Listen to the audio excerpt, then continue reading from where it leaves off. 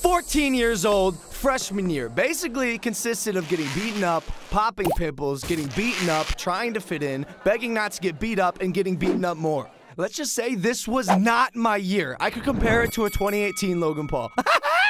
Anyways, I had not hit puberty yet. I was the shortest one out of all my friends. My voice was still high and my dick was still small. Fabulous. But still, I remember freshman Logan was so intrigued by some of the senior girls. They were so hot. How did they have so many curves and womanly features? It didn't make any sense.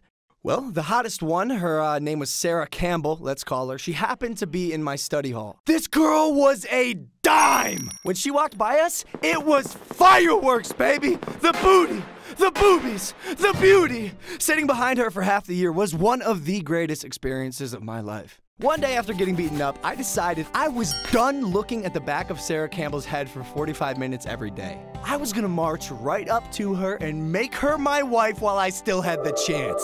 So I give my battle call, Hamdallah! And I say, who? Uh, what? What, what I said, Sarah, was, what, I, what I said was, yo.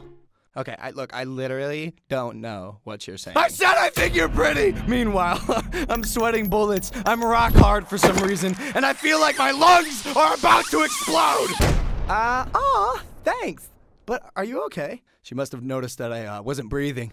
Nope, ma'am, I'm absolutely not. And I passed out on the floor. Well, my tactics work, and she must have thought me being unconscious was cute because from that day on, sometimes Sarah would initiate conversations with me, and I even helped her with her homework once. But I knew that our relationship had to go to that next level, and to do that, I needed her phone number. So I asked my freshman friends for advice, and lucky for me, my one friend Jamie was actually family friends with Sarah, and he had her number. So I took it from him because I did not feel like passing out again in front of Sarah. not my brand. That night, moment of truth. Phones out, fingers ready to text Sarah so fucking good she marries me on the spot tomorrow. So I go, Hi, it's, it's Logan. hit send, and then I wait. Ding! Hey, what's up? Holy shit, she responded! Oh my god! Oh, oh, oh, oh, I'm about to get it on. But of course, I play it cool, so I say, you. Damn, I was killing it! These types of riveting conversations went on for about two weeks straight. Of course, at school, I'm bragging to my boys, talking about how smooth I am. None of them believe me, so I show them the text, and she's sending like pictures of things. She even told me what part of town she lived in and what her favorite movie was. All of us were losing our minds. Finally, one day, Sarah and I were texting, and she asked me for advice on what to wear to a nice family dinner a dress or a skirt? Uh, I don't know. I like dresses. Not on me though. Not like for me. Like not for personal reasons. I, I, I like dresses on girls sometimes. You? As you can see, I was still pretty nervous as shit about this girl. But then she hits me with the text that would change my life forever. Hey, can I send you a picture of me in the dress? Dun dun dun! What the fuck? Did I just read that right? Can I send you a picture of me in the dress? oh my god!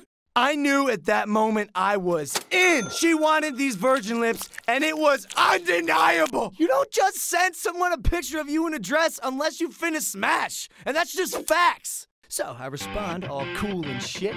Yeah. Y E. Completely drop the A and the H to show confidence. So I wait, and again, I'm rock hard. I do not know why, but five minutes go by, 10 minutes go by, 30 minutes go by. It felt like I had lived five lifetimes. And then, ding. Incoming picture message from Sarah Campbell. My hands are shaking. I open the message, and oh my gosh. What the fuck was I looking at? At first, it looked like a duck. Or maybe a Pokemon. Potentially that Pokemon that looks like a duck. Psyduck. But no, after further inspection, I realize I'm looking at an extreme close up of a man's face. And then it hits me. That man is Jamie. My friend Jamie! The one who gave me Sarah's number in the first place. Except now it's very clear to me it wasn't Sarah's number! I had been flirting with my friend Jamie over text for the past two weeks. And sure, I'm embarrassed, but what about Jamie? Who keeps a joke up for this long? What the fuck, man? You got some real life identity problems!